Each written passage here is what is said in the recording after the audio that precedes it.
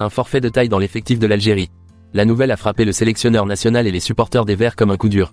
Oussem Aouar qui évolue actuellement en Serie A avec l'AS Rome, s'est blessé lors d'un match contre le Milan AC vendredi dernier. Cette blessure a rendu impossible sa participation aux deux prochains matchs et au stage de l'équipe nationale. La fédération algérienne a confirmé la mauvaise nouvelle en expliquant que le staff médical de l'équipe nationale avait reçu un rapport détaillé sur la blessure de Oussem Aouar de la part du personnel médical de l'AS Rome.